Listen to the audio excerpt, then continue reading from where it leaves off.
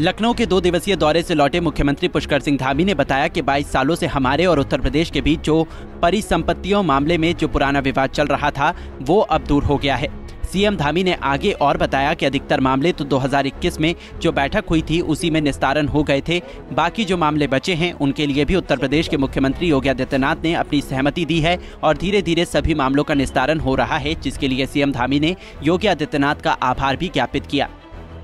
आ, मैं माननीय योगी जी का बहुत धन्यवाद करता हूँ कि पिछले 22 सालों से बहुत सारे जो मामले हमारे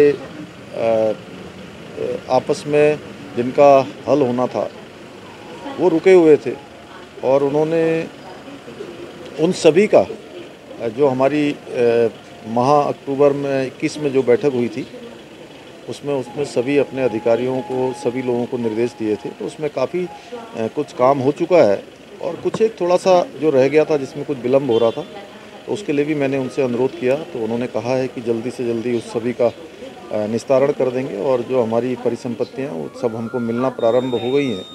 और जल्दी से सारे का हल हो जाएगा। मैं उनका धन्यवाद करता हूँ और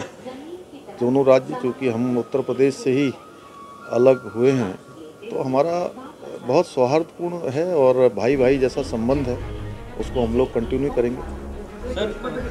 आपको बता दें कि सीएम धामी उत्तर प्रदेश और उत्तराखंड के बीच 22 सालों से चला आ रहा संपत्ति विवाद को खत्म करने के लिए दो दिवसीय दौरे पर लखनऊ गए थे जहाँ पर सीएम पुष्कर सिंह धामी ने सीएम योगी आदित्यनाथ से मिलकर पुराने विवाद को खत्म कर दिया है। पंजाब केसरी टीवी के लिए देहरादून से आशीष रमोला की रिपोर्ट।